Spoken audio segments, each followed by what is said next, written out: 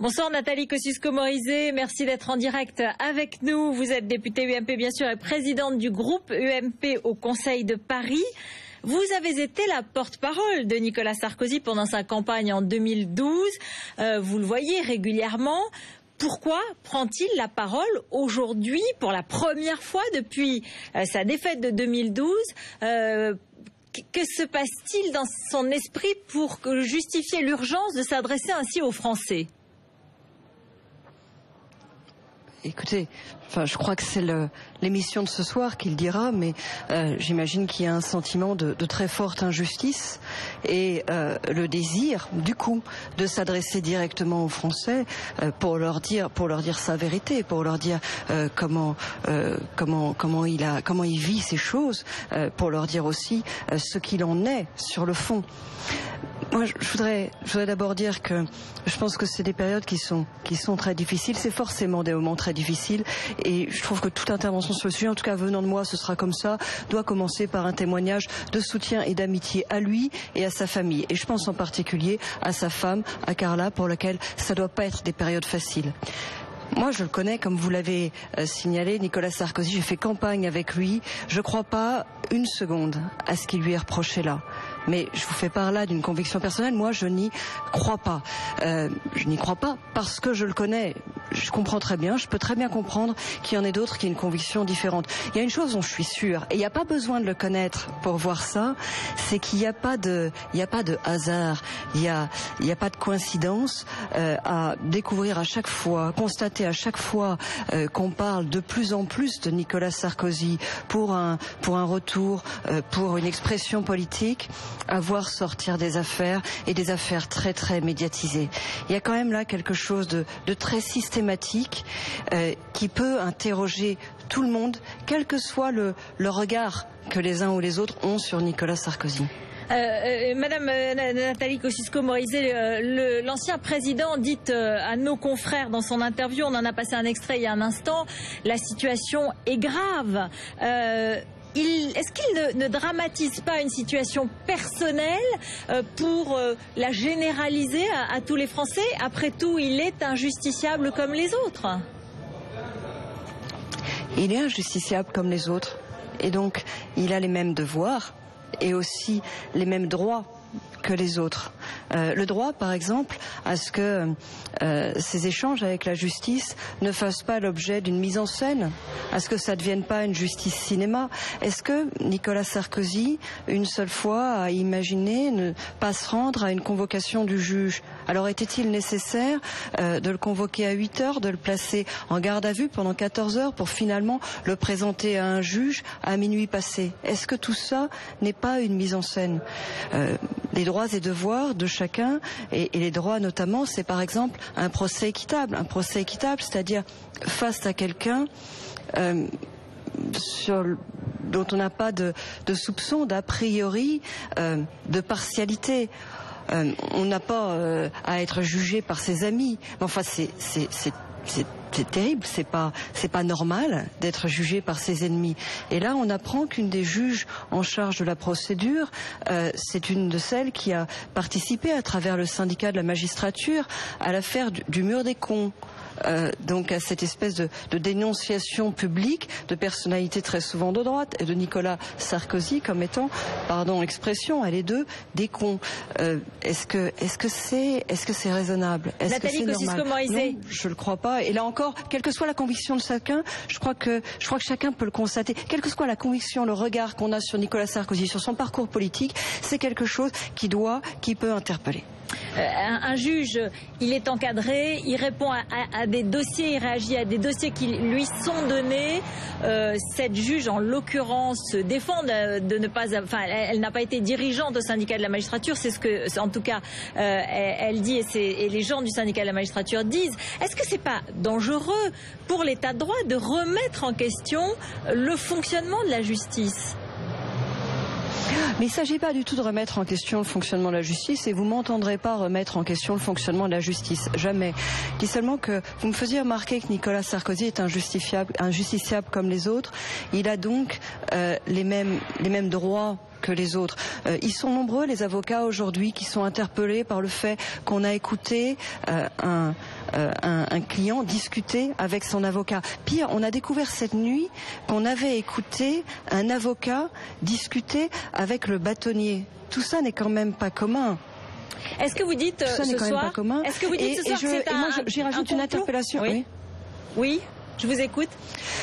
Non, moi, d'abord, je ne tomberai pas dans le terme de complot, si vous voulez. Moi, je ne sais pas euh, s'il y a un cabinet noir à l'Élysée euh, qui, agite tout ça. Je suis sûre d'une chose, c'est que d'abord, on a en place, au ministère de la Justice, une garde des Sceaux qui s'est rendue coupable euh, de mensonges vis-à-vis des Français quand elle a dit n'être pas informée de ses écoutes en brandissant un document qui prouvait le contraire.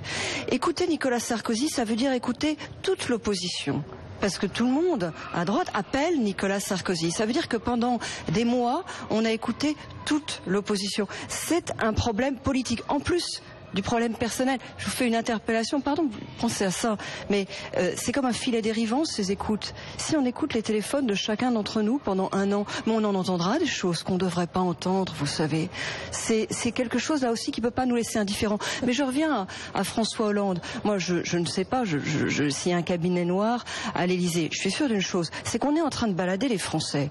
Parce que pendant qu'on leur parle d'un euh, supposé trafic d'influence sur un poste qui d'ailleurs n'a pas été obtenu euh, pour euh, une information euh, sur une affaire judiciaire qui finalement a, donné un non-lieu, pendant qu'on nous parle de tout ça, on ne nous parle pas de ce qui se passe en France, on ne nous parle pas du chômage qui explose, on ne nous parle pas des divisions profondes de la majorité, on ne nous parle pas des jeunes entrepreneurs qui quittent le pays. Et donc je suis sûre d'une chose, c'est qu'on balade les Français. Complot, je ne sais pas, mais qu'on balade les Français, alors ça, ça fait pas de doute.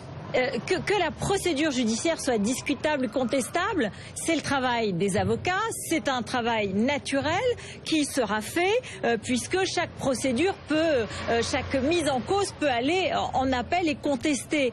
Mais en quoi est-ce que cela concerne tous les Français? Est-ce qu'il n'y a pas là une volonté, comment dire, d'instrumentalisation politique aussi de la part de l'ancien président pour susciter, renforcer, encourager une sympathie à son égard avant un retour en politique. Vous savez, le problème de cette affaire, c'est que on cherche manifestement une condamnation médiatique. Euh, avant et là où probablement il n'y a pas lieu à condamnation judiciaire. C'est-à-dire, on pourrait on a presque l'impression que le dossier est tellement léger que euh, pour ne pas passer à côté d'un impact, eh ben on cherche la condamnation médiatique euh, parce qu'on sait très bien que derrière, il n'y aura pas de suite. Moi, je gage que ce dossier-là, il va se finir comme l'affaire Bettencourt. C'est-à-dire que pendant des mois, on en parle, on en parle, on en parle, et puis finalement, il n'y a rien.